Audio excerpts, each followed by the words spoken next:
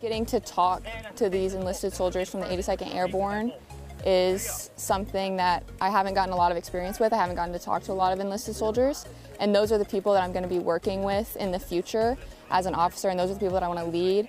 And I really want to be able to be proficient in these skills when I am a leader so that I can better train my soldiers. So getting this experience helps me to better prepare my soldiers in combat. So after an early morning, uh, after the ACFT, we came down here to learn uh, from the 82nd Airborne's Task Force, warrior tasks and drills, anything from disassembling and assembling a 240 Bravo, to learning how to make a range card, to uh, putting on face paint and camouflaging ourselves. The task force is incredibly professional. Uh, they're members from a unit that is shrouded in incredible history. It's a unit that is an unbelievable legacy.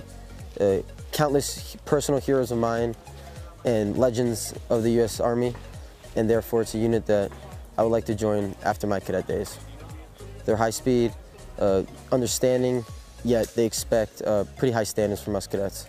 I think it's, it's pretty important for them to, to actually get a different ear rather than like their instructors. Uh, I believe that the 82nd brings a lot of fast-paced learning and uh, a lot of um, well-rounded individuals, being that not every unit ends up going on airborne operations.